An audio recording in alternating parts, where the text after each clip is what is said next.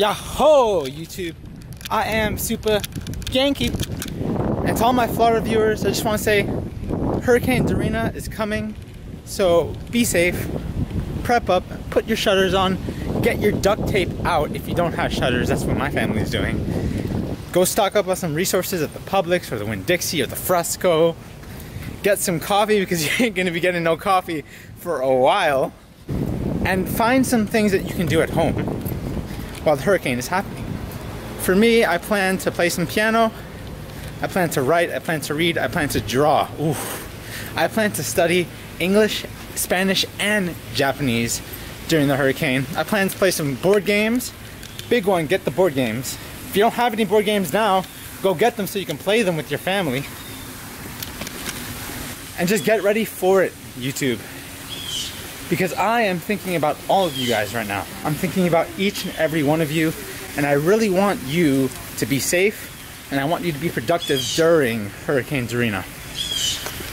Because the hurricane of life is gonna come literally, Hurricane Dorian, and metaphorically with your feelings when you least expect it. And it's not about when the hurricane comes. It's about what do you do after the hurricane passes. Literally, I was supposed to fly out on September 2nd, but all flights were canceled on September 2nd. So now I have to push my plans to go to Spain back another day. But is it gonna stop me? Is it gonna just like push me down? No, I'm gonna use it. I'm gonna use it. I'm not gonna lose this experience. I'm not gonna lose these feelings. I'm going to keep pushing forward and get my dreams. And that's what I want you to take away from this experience because that's what Hurricane Dorian is. It's a storm, a literal storm, but we can put it into a metaphorical mindset. But real talk, YouTube, biggest priority is be safe during the hurricane.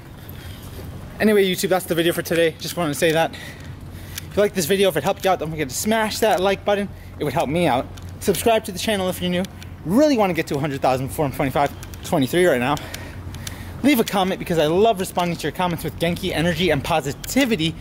But most importantly, share this video with your friends. Not only do we need to get the good word of positive thinking out there, but we also need to spread this message of be safe to as many Floridians as we can. I'll see you in the next one. Bye bye.